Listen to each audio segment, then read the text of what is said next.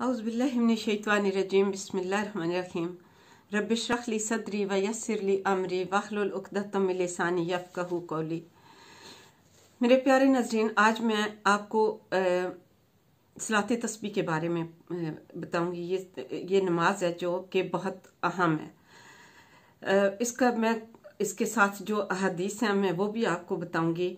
और ये बताऊँगी कि ये नमाज़ क्यों इतनी ज़्यादा इम्पोर्टेंट है? अभी रमज़ान आ रहे हैं और रमज़ान में हर बंदा ये करता है कि रमज़ान शरीफ में ज़रूर ये कोशिश करते हैं कि सलात तस्वीर रोज़ पढ़ी जाए। तो इसमें से मैं आपको बताती हूँ कि इसके बारे में जो अहदीस आई हैं। ये जो सलात तस्बी है, इसका हर उलमाए उम्मत मुहदसिन फ़ुखा सूफिया हर ज़माना में इसका अहतमाम फरमाते रहे हैं। इस इसमें बहुत सारी हदीसें भी दलील है।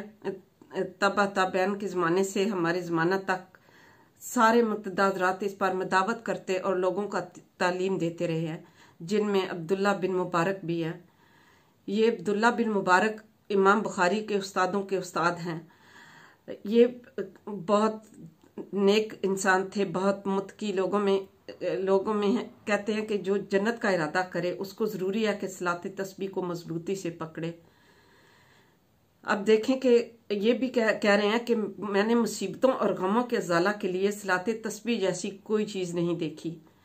अलामा तकी की फरमाते हैं कि ये नमाज़ बड़ी अहम है। बाज़ लोगों के इनकार की वजह से धोखा में न पढ़ पढ़ना चाहिए। जो शख्स इस नमाज़ के स्वाब को सुनकर भी गफलत करेगा, वो दीन के बारे में सुस्ती करने वाला है।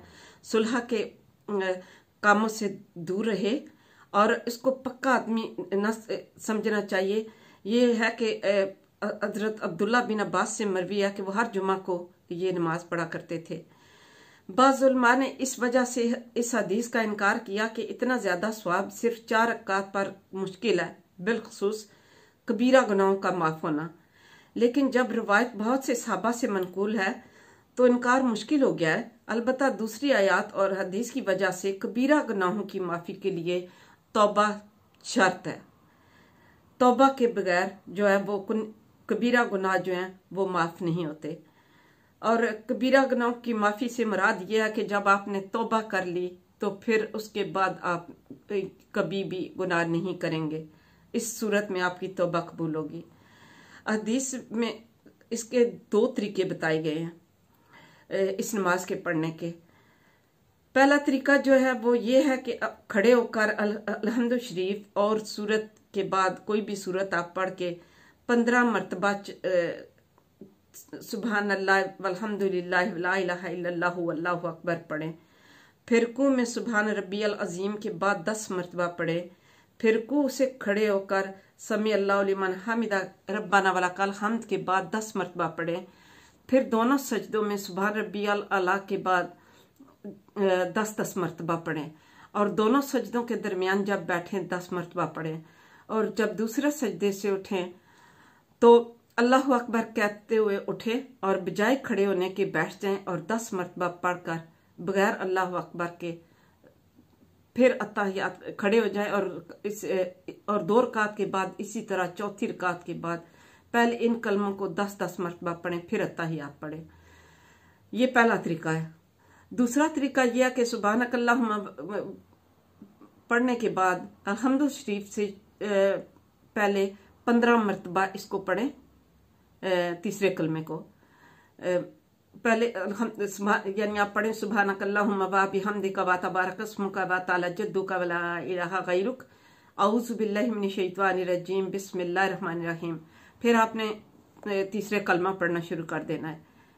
अभी आपने सूरत फातिहा नहीं पढ़नी। फिर आपने इन कलमों को पढ़ना है पहले पंद्रह मरतबा। और फिर अलहमद शरीफ, और इसके बाद सूरत कोई पढ़ेंगे और सूरत के बाद दस मरतबा पढ़ें। आप समझ गए होंगे कि पहले सुबहान कल्ला फिर अल्हम्दुलिल्लाह से से पहले पंद्रह मरतबा पढ़ें और फिर अल्हम्दु और सूरत के बाद दस मरतबा पढ़ें। और बाकी सब तरीका जैसे मैंने पिछले बताया वही है। अलबत्ता इस सूरत में ना तो दूसरे सजदा के बाद बैठने की ज़रूरत है और न अतहियात के साथ पढ़ने की। उलमा ने लिखा कि बेहतर यह है कि कभी इस तरह पढ़ लिया करें, कभी उस तरह से। क्योंकि ये नमाज़ आमतौर पर राइज नहीं, इसलिए इसके मतलब चंद मसाइल भी लिखे जाते हैं ताकि पढ़ने वालों को सहूलत हो। मसला नंबर एक, इस नमाज़ के लिए कोई सूरह कुरान की मुतन नहीं। जो सी भी सूरत दिल चाहे वो पढ़े, लेकिन बाज उलमा ने लिखा है कि सूरह हदीद, सूरह हशर सूरह सफ सूरह जुमा और सूरह तगाबुल में से चार सूरतें पढ़े। बाज हदीसों में बीस आयतों की, आया कि बीस आयतों वाली कोई सूरह पढ़ें। इसलिए ऐसी सूरतें पढ़ें जो बीस आयात के करीब करीब हो। बाज ने इजाज जिलातिल आदियात सूरत तकासुर और सूरह असर सूरत काफिरून, सूरह नसर अखलास हर एक ने अपने अपने तरीके में किया। आपको जो भी बेहतर लगता है आप उसमें से कर सकते हैं, जो आपको आसान लगे। गिनने के लिए आपको मसला ये है कि उंगलियों को बंद करके गिनना और तस्बी हाथ में लेकर इस पर गिनना जायज़ है, मगर मकरू है।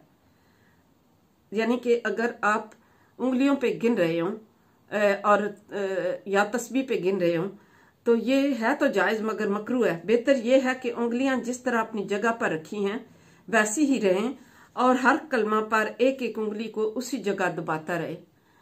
यानी कि आप ऐसे कर, करें कि आपने एक उंगली को दबा दिया फ़र्ज़ किया मैंने अपनी एक उंगली को दबाया तो उसमें तीन पोरे हैं।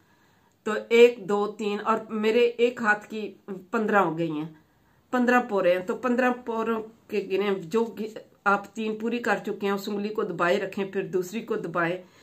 तो ये बेहतर है। लेकिन इस्लाम जो है वो इतना सख्त मज़हब नहीं है। आपको इजाज़त देता है कि आप जो जो आपको आसानी लगे, वो कर सकते हैं। लेकिन जो सही तरीका है वो ये है। अगर किसी जगह तस्बी पढ़ना भूल जाए तो दूसरे रुकन में इसको पूरा कर ले। अलबत्ता भूले हुए की कजा, रकू से उठकर और दो सजदों के दरमियान ना करे। अगर आप पढ़ते हुए तस्बी में कहीं भूल गए हैं तो दूसरे रुकन में इसको पूरा कर ले। मतलब अगर आप पाँच भूले या दस भूले या दो भूले या तीन भूले जो भी तो दूसरे में आप उसकी काउंटिंग पूरी कर लें। इसी तरह पहली और तीसरी रकत के बाद अगर बैठे तो इनमें भी भूले हुए की कजा ना करे बल्कि सिर्फ़ उनकी ही तस्वीर पढ़े और उनके जो रुकन हुआ उसमें भूली हुई भी पढ़ ले। मसलन अगर रुकू में पढ़ना भूल गया तो इस उस, उनको पहले सजदा में पढ़ ले। इसी तरह पहले सजदा की दूसरे सजदा में और दूसरे सजदा की दूसरी रकत में खड़ा होकर पढ़ सकते हैं। अगर रह जाए तो आखिरी कादा में अताहियात से पहले पढ़ लें। यानी कि आपको आपकी आसानी के लिए है। अच्छा अब मसला जो अगला है कि अगर सजदा सहू किसी वजह से पेश आ जाए तो इसमें तस्वीर नहीं पढ़नी चाहिए। इसलिए कि मकदार तीन सौ है, वो पूरी हो चुकी है। हाँ अगर किसी वजह से इस मकदार में कमी रही तो सजदा सहू में पढ़ लें। देखें कि कितनी आसानियाँ हैं। सब जगह के आपके लिए सहूलतें हैं। बस अहादीस में आया कि अत्ताहियात के बाद सलाम से पहले दुआ पढ़ें, जो कि जिसका मैं सिर्फ़ आपको तर्जमा बताती हूँ कि अल्लाह, मैं आपसे अदायत वालों की सी तोफ़ी मांगती हूँ और माँगता हूँ, और यकीन वालों के अमल और तोबा वालों का खलूस मांगती हूँ या माँगता हूँ। और साबरीन की पुख्तगी और आपसे डरने वालों की सी कोशिश या एहतियात मांगती हूँ या माँगता हूँ। और रगबत वालों की सी तलब और प्रेसगारों की सी इबादत और उल्मा की सी मार्फत ताकि मैं आपसे डरने लगूँ। अल्लाह, ऐसा डर जो मुझे आपकी नाफरमानी से रोक दे और ताकि मैं आपकी अतात से ऐसे अमल करने लगूं जिनकी वजह से आपकी रजा खुशनुदी का मैं, कि मैं मुस्तक बन जाऊँ। या मर्द तो वो कहे मैं मुस्तक बन जाऊँ और खलूस खलूस की तोबा आपके डर से करने लगूं और ताकि सच्चा अखलाक मैं आपकी मोहब्बत की वजह से करने लगूं और ताकि आपके साथ उसने जन की वजह से आप पर तवक्ल करने लगूं ए नूर के पैदा करने वाले तेरी ज़ात पाक है ए हमारे रब हमें कामल नूर अता फरमा और तू हमारी मफरत फरमा बेशक तू हर चीज़ पर कादिर है। ए अपनी रहमत से दरख्वास्त को कबूल फरमा। इसमें यह है कि इस काते मकरुआ जो है वो खाली उसके अलावा आप किसी टाइम भी पढ़ सकते हैं दिन के या रात के औकात में। ए, सिर्फ़ मतलब उसमें जायज़ है जब औकात मकरू जब जवाल का टाइम है। अलबत् जवाल के बाद पढ़ना ज़्यादा बेहतर है। फिर दिन में किसी वक्त, फिर रात को बाज़ हदीसों में सोम कलमा के साथ लाहौल वलाकुत का भी ज़िक्र किया गया, जैसा कि तीसरी हदीस में गुजरा है। इसलिए अगर कभी कभी इसको बढ़ा ले तो अच्छा है। यानी जितना गुड़ डालेंगे, इतना ही मीठा होगा।